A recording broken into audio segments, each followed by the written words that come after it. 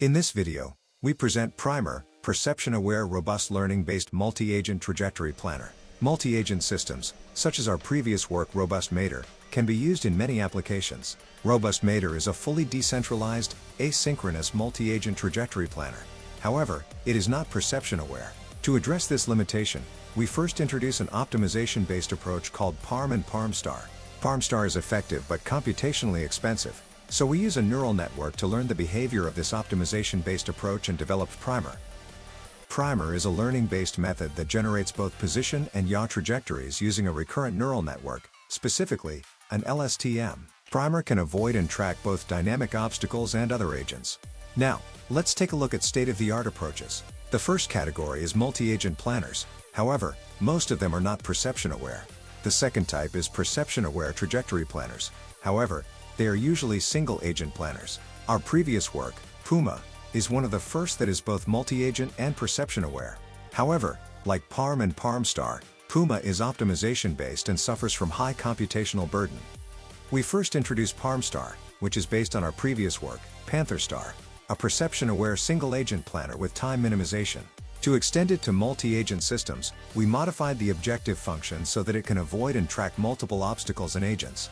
Additionally, using Robust MADER's communication delay robust trajectory sharing strategy, PARMstar achieves safe trajectory deconfliction among agents. Primer also shares the obstacles it is tracking with other agents. Now we explain Primer's learning architecture. We leverage recurrent neural networks to process a varying number of obstacles and agents. Specifically, we use LSTM for this purpose. We then concatenate the ego agent state with the LSTM output and feed it into fully connected layers. These fully connected layers then generate both position and yaw trajectories. One thing to note is that yaw trajectories were harder to learn.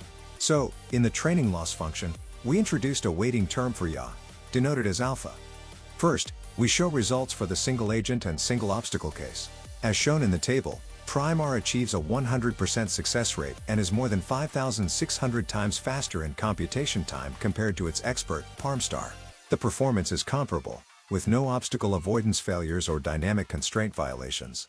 Here are the multi-agent and multiple obstacle scenarios. In both cases, Primer achieves the fastest computation time and shortest travel time.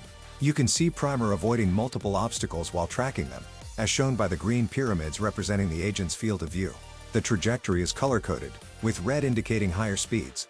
For future work, we plan to perform larger-scale simulations and hardware experiments, and apply this learning framework to our latest planner, Dynus.